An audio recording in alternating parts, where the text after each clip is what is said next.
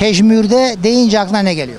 Ya pejmürde yani mahvedeceğiz anlamında. O, o anlama gelir başka. Neye gelir yani? Perişan etmek geliyor ne diyorlar. Öyle mi geliyor? Biz hani biz köyde eskiden seni perişan ederim, peşmurda ederim. Öyle derdik. Vallahi o yani baskı oluyor, bir şeyler oluyor. Ben hiç pejmürde manasını bilmiyorum ki. Onu bilmiyorum. Bilmiyorum peşmur. Teş- Pejmürde deyince aklına ne geliyor? Peşmurge bilmiyorum.